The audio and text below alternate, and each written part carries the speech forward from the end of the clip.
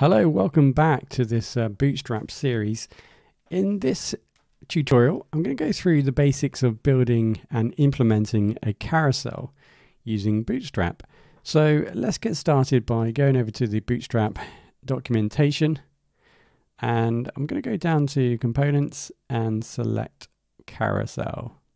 Okay, so it'd be well worth your while reading through this uh, just once to get a general feel and idea what's going to happen. I'm going to be utilizing this as reference as we go through this tutorial. So you'll be able to read up on some of the things that I'm implementing uh, in code. So first of all, I'm going to just utilize this first sample. So we'll go through most of these um, examples. Um, so I'm going to copy that and you can see this is just going to be a slider. At the moment there's three images that's going to slide. Um, so we'll go back to my code. I'm inside the index page here. And I'm just going to put this code, this carousel code, just below my container. You can update your comments if you want to. So what we've got here is a, a div, a carousel. And inside of this uh, carousel, we've got um, some divs here, which uh, includes the images. So these are the three images. You'll notice that the SRC, there's just dot, dot, dot. So the images haven't actually been included yet. So if we refresh the page, this is what we're going to see. You will see this move across uh, shortly. So it is working. Now, if yours isn't working, um, I'll say this now, uh, if yours doesn't work in a minute, it might mean that you've not or you've deleted uh, some of these dependencies down here because in order to get this working, we're going to need some of this uh, JavaScript in place, uh, like I said, to get this uh, carousel working. So make sure that's there. If you're following this series, um, you wouldn't have touched that, that down there. So uh, now let's go back to our carousel here. And now let's add some images to this carousel. So to add some images, I'm going to, I'm going to be just using some placeholders. So I've gone over to placeholder.com. You can use uh, any other placeholder service you like. Um, and now I'm just going to select the uh, this code here and put it into the dot dot dots of my code. So I've changed my code already, so I've already copied and pasted it. So I'm selecting 150 by uh, 50 so I'm going to do that for all of them. Okay, so uh, let's just refresh my page. So this is probably one of the trickiest things with utilizing a carousel, um, having things uh, displayed correctly. So um, by default, or as per instructions at placeholder.com, you define the width and the height of the image. Now, let's not forget uh, that here we've got width 100%. This is going to be. So what's happening here is that this is getting overridden. This sizing of this image is getting overridden by Bootstrap. So this is why it's appearing as 100% uh, of your container. Remember that this is inside of this container here, which is 1100 and whatever. Uh, so this image is now being scaled to 100% and it's just being scaled upwards. So uh, that's why you get this shape here. Now, if I were just to remove that and just select 150, that's going to make an image of 150 by 150 height and width. And this is why you're going to see something like that. Um, and obviously it's just been scaled up again. And that's why it's still square because it's just been scaled up the image. So by putting in 50 here, um, that will produce a nice kind of size for us on the page. But to further understand that a little bit more, if I right click and uh, right click and uh, inspect, I can see uh, here, for example, um, if I were to change the this code here width um, to nothing here,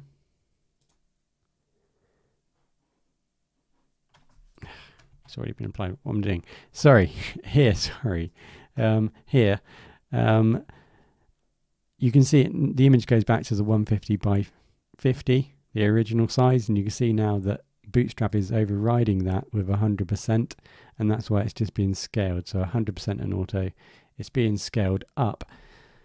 So that can um, be useful for us when we're just building our web page initially.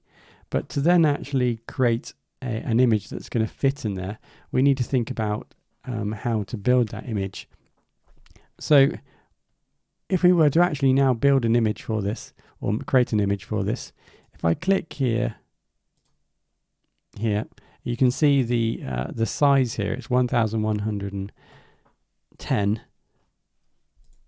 by 370. So that's the, the size of it. So if I was going to build an image for this, I would build an image of that size. And it would then be scaled as you move down. It will keep its scale. Um, so there'd be no need to change this code at all because it will always be 100%. So that's how I would uh, design.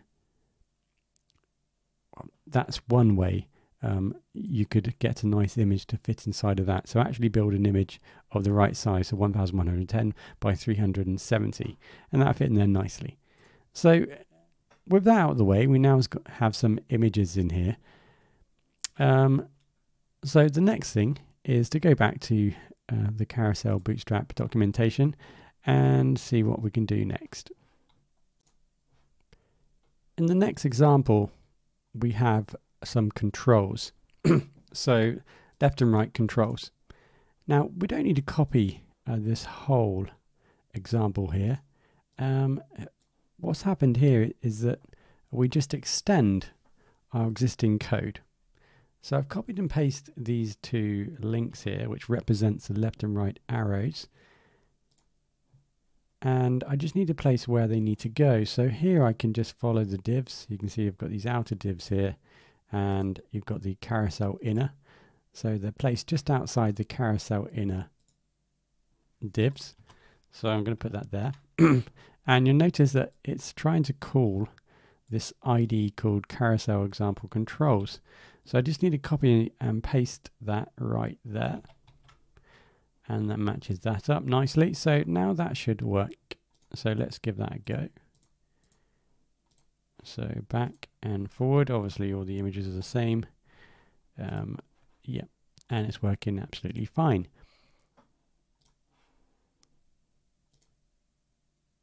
Just to recap so far, we have the carousel outer div for our carousel. And then we have the inner carousel, which includes the images. So we've got a div for the carousel item and then an, an image. And now we've included some controls which go out of the outside of the carousel inner div. So we've got a previous and a next um, icon on our carousel. Uh, let's just assume you don't want to use uh, these icons and you wanted to change it to something like this, for example, use your own icon. Well, uh, what we do have uh, is the icons www.getbootstrap.com. So from the, the homepage, click on icons. And then from here, we've got some free to use icons or an icon library um, that we can utilize. Of course, you may have your own icons you want to use. So uh, just select one of these. I'm going to go for this right here. And then this will produce the SV G code you need for it. So I'm just going to copy and paste that into right here. So I'm going to get rid of this span. Uh, which, that's basically the icon that you can see right now. So I paste my SVG right in there.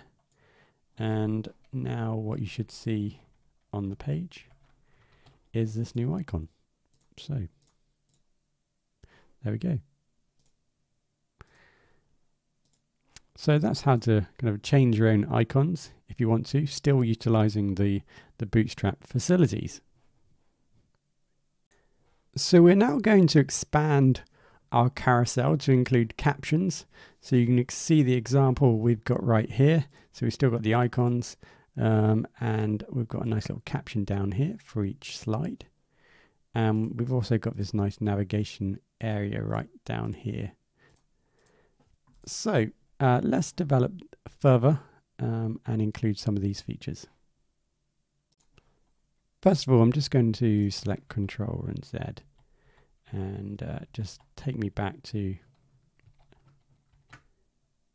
just take me back to the uh, the previous icon for my slider. There we go. So let's add some code. uh, looking at this example, we've got the label right here. So we're going to copy that and put it into our item. So underneath our image. Now I'm just going to get rid of I'm just going to get rid of the other two items here.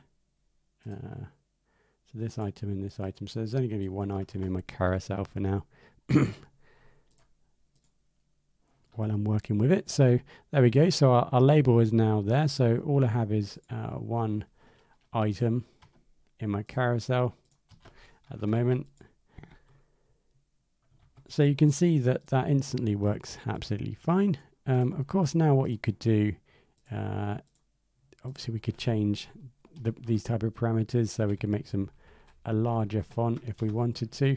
Or if you wanted to expand that further, you could add a class to this equals uh, text1, for example, and then you could go back into your CSS dot text1, and then you could add add your style here. So font uh, font size 12. Make it really small if you wanted to. So you could definitely uh, do that if you wanted to uh, and that will be a way of expanding or customizing further. So I just take that out and take this class out. So we're just going to stick with the, the H2. Uh, so that's rather large. Now, obviously, I've only got one element here. so that's my first slide label. Now, obviously, I just need to now copy and paste this to make uh, some more slides. Now I'm just going to change this to obviously second and this one is going to be my third slide.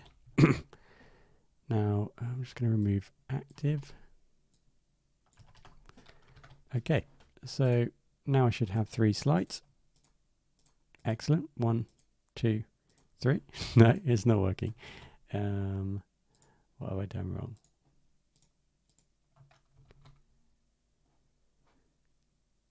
Okay.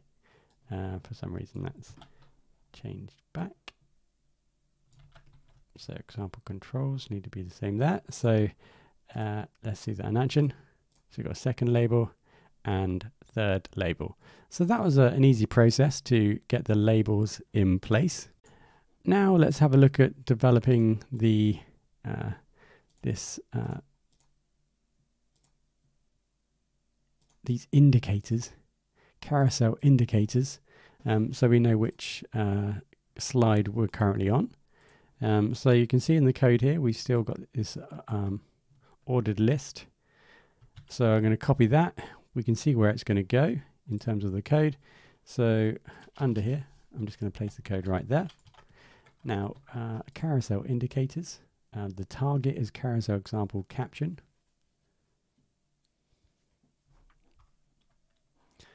So let's see if this is working. One. So you can see at the moment this is not working. And that is because uh, we're now referencing uh, this ID differently. So I need to copy that, put it up here. And then down here, I also now need to change this because we're using a different ID. So that's now in place. Uh, so let's go back and make sure that that works. So first slide, second slide, third slide. There we go. So we've got the example working. So um, we have built uh, from this simple example, you can see that we've added um, this section at the bottom here. Um, sorry, this section here. So first of all, we added some uh, links on the left and right hand side. We just needed to make sure that this uh, was the same as the ID of the carousel. And then that was the first task. We then expanded this further and we've added some labels or some information um, per slide. We did that. And then the last thing we achieved was we've added some carousel indicators for each slide. Now, of course, if you now add a new slide, uh, so let's just copy this item here. We just need to add that item. Obviously change the image if you want to. Uh, this is going to be the fourth.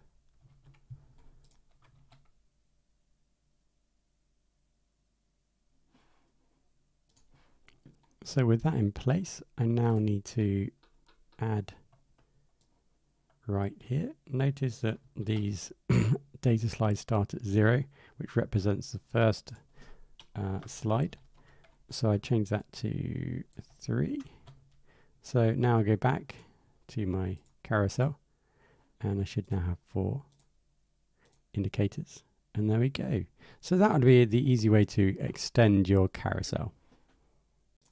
For the next example, I've gone ahead and accessed this website and I've copied and pasted uh, the code uh, for some images because I wanted to move away from those grey images.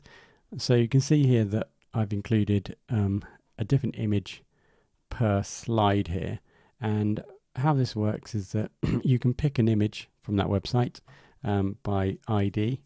So 237, 238, 239 and so on.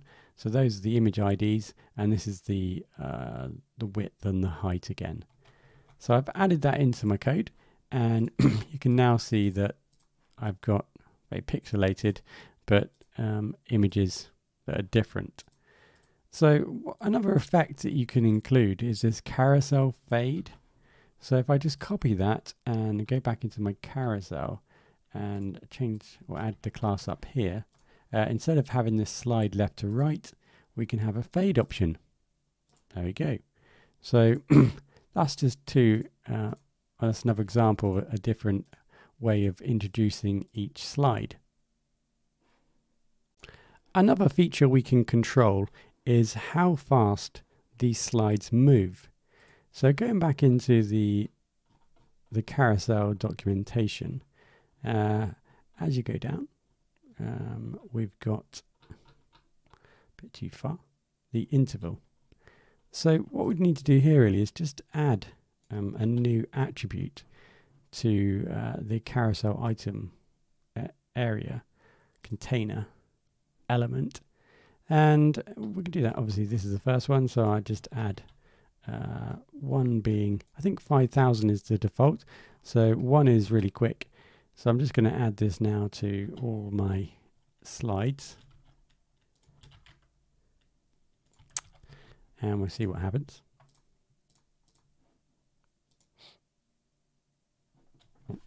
refresh the page.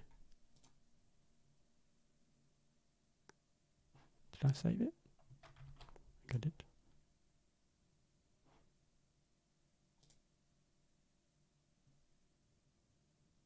Hmm. That's uh So there we go. Um, I think that was just a, an issue there with cache, cache, however you want to describe it. Um, so you can see how quickly that's going to move. Um, obviously, if you want that slower, then it's just a case of increasing uh, this number. Okay, so that gives you an overview, hopefully, of utilizing and implementing uh, a simple carousel into your uh, WordPress, sorry, into your Bootstrap uh, project. Um, so let's just scale that down so you can see that how that scales down. There we go. So notice also, uh, one point I didn't make and point out, the text disappears when it gets to this small size. Now, if you want the text to continue um, at that small size, if you remove this uh, D none, so if I remove that now from from each slide and refresh, you can see now that the text is now uh, reappeared. So it's probably a good idea to, to remove that because at this small um, size, it's probably difficult with a phone to, to actually utilize that. But at the same time, um, you might still find that, or you might still want that feature included onto yours because it does give you a nice um, label for the image. So it depends how you want to style your page, but that's how to control that element. So hopefully that gives you a, a basic overview of starting to utilize and implement carousels uh, with Bootstrap.